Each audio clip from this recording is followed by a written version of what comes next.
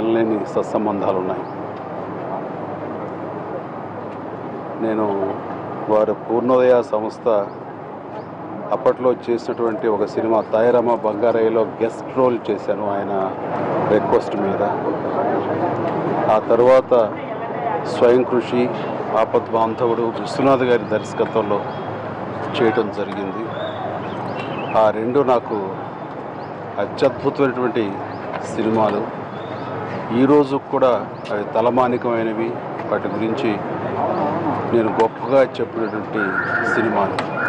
అలాగే నాకు రెండు సినిమాల్లోనూ నంది అవార్డ్స్ మరెన్నో ఇతర అవార్డ్స్ రావడానికి దోహదపడిన సినిమాలు స్వయం కృషి ఆపద్బాంధవుడు అంత గొప్ప సినిమాలు నాకు రావటం అన్నది అది పూర్ణోదయ సంస్థ నాగేశ్వరరావు గారి ద్వారా రావటం అనేది నాకు అది గొప్ప అనుభూతి. నాగేశ్వరరావు గారి విషయంలో ఆయన నటుడుగా రావాలని నటుడు కావాలని వచ్చినా సరే ఒక అత్యున్నతమైనటువంటి అభిరుచి గల నిర్మాతగా తను తాను ఆవిష్కరించున్నారు ఈ పరిశ్రమలో. ఎంతటి కమర్షియల్ సినిమాలు చేసే పరిస్థితులు వచ్చినా సరే కమర్షియల్ చిత్రాలకు ఆయన లోబడకుండా కళాత్మక విలువలు ఉండే సినిమాలకు అరకొన ఈస్థెటిక్ వాల్యూస్ తోటి మన స సంప్రదాయాల్ని వెలికి తీసే చిత్రాలే అదొక కమిట్మెంట్ లాగా ఆయన చేశారు. ఏ రోజు సినిమా అనేది ఎంత వ్యాపార దృక్పథంతో ఉన్నా సరే వ్యాపారమే కాకుండా కళాత్మకంగా వాటికి మనం వంతు మన సేవ చేయాలి అనే కళా సేవతోటి ఆయన సినిమాలు తీయటం జరిగింది. అందుకని ఆయన సినిమాలు ఒక్కొక్కటి ఒక్కొక్క ఆణిముత్యం.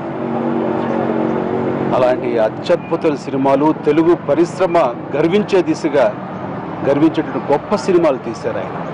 చెప్పాలంటే భారతీయ సినీ పరిశ్రమలో ప్రపంచపరంగా కూడా తెలుగు సినిమాల యొక్క గౌరవాన్ని ఇనుమడింపచేసే విధంగా సినిమాలు తీసి ఆయన ప్రత్యేకతను చాటుకున్నారు. ఆ రకంగా ఆయన అంత గొప్ప నిర్మాత నా నిర్మాత కావటం నిజంగా నాకు చాలా చాలా గొప్ప అదృష్టంగా నేను భావిస్తున్నాను. ఈ రోజున ఆయన మన మధ్య లేకపోవటం అన్నది చాలా దురదృష్టం. ఈ సందర్భంగా ఆయన కుటుంబ సభ్యులు ప్రతి ఒక్కరికి నేను మనస్ఫూర్తిగా నా సానుభూతిని తెలియజేస్తూ ఆయన ఆత్మకు శాంతి చేకూరాలని ఆ భగవంతుని మనసారా వేడుకుంటున్నాను.